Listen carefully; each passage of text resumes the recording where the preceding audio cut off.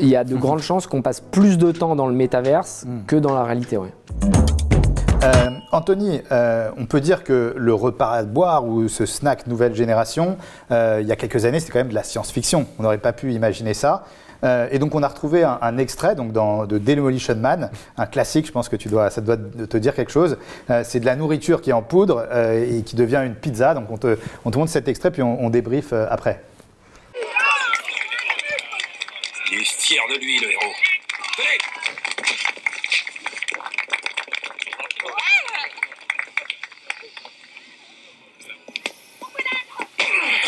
Fais pas ça, non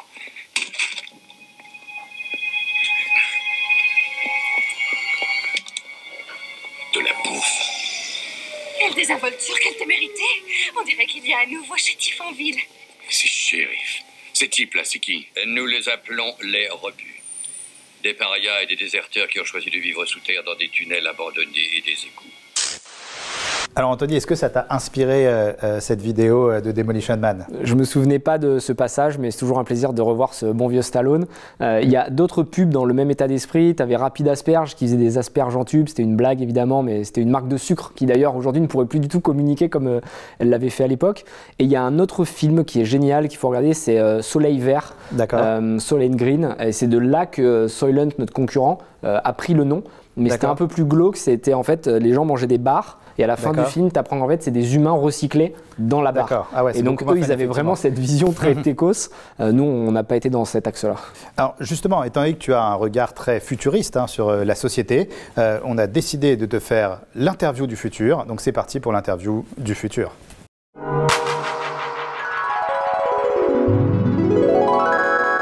Donc euh, on est dans 50 ans, tu as 83 ans et tu nous dis si tu y crois ou si tu n'y crois pas. Ok. Est-ce que tu crois qu'il y aura des voitures volantes? C'est sûr qu'il y aura des voitures volantes. Je crois qu'il y en a déjà une ou deux, mais je pense pas que ce sera le moyen privilégié. J'ai étudié la question parce que j'aime beaucoup. Euh, en fait, il y a un, un truc qui s'appelle la gravité et qui fait que euh, c'est naturellement gratuit. Donc les voitures vont être collées à la planète et, et ne vont pas avoir d'effort euh, pour en profiter. Alors que si tu veux t'extraire de la gravité par un avion, tu dois dépenser écologiquement du carburant et donc c'est pas du tout responsable. Et je pense que la responsabilité, l'éco-responsabilité, ça va être la clé euh, de ces futures années. Euh, Est-ce qu'il y aura de la nourriture en tube ou en pilule Ouais, c'est sûr. D'accord. Est-ce qu'il y aura des voyages immersifs sans bouger de chez soi Ouais, sûr aussi. Dans le métaverse Métaverse. C'est quelque chose qui t'intéresse Ouais, j'adore. ouais, Ouais. Tu, Je euh, lis beaucoup, j'investis beaucoup dans le sujet blockchain, Web 3, j'adore. D'accord. Euh, Est-ce que tu penses que le Bitcoin vaudra plus de 2 millions d'euros 2 millions d'euros, peut-être pas, mais je pense qu'il va monter euh, beaucoup encore. D'accord. Est-ce que ça t'intéresse, euh, les crypto-monnaies, le Bitcoin? J'aime beaucoup la technologie blockchain, moins les crypto-monnaies, qui sont de la spéculation et on leur prête trop de vertus. Et du coup, ça, ça amène les gens vers le Web 3 pour les mauvaises raisons, mais la technologie de décentralisation est exceptionnelle. Est-ce que tu penses que la viande sera interdite à la consommation? Je pense que ce sera un truc de riche, ouais. Peut-être interdit même. Mais ce sera un truc de riche, un peu comme à une époque, tu vois, tu avais l'alcool et il fallait avoir de l'argent pour en avoir. Mm. Je pense que la viande, ce sera effectivement pour les grands moments de fête, un peu comme le foie gras, tous ces trucs, ça va être euh, interdit. Euh, Est-ce qu'on aura limité le réchauffement global à 2 degrés? Non, je pense pas. D'accord. Sur ça, t'es Malheureusement, je pense pas, parce qu'en fait, c'est là, on est dans une société capitaliste, et quand je dis capitaliste, c'est pas dans le mauvais sens du terme, parce que moi, je, je me définis comme étant un capitaliste méritocratique. Et donc, tant qu'on n'est pas capable de rétribuer les gens qui font attention, personne ne le fera. Donc, euh, il faut avoir une cohésion globale, internationale, et j'ai du mal à y croire. Euh, Est-ce qu'à ton avis, on sera encore plus connecté ou justement est-ce qu'on voudra se libérer de la technologie?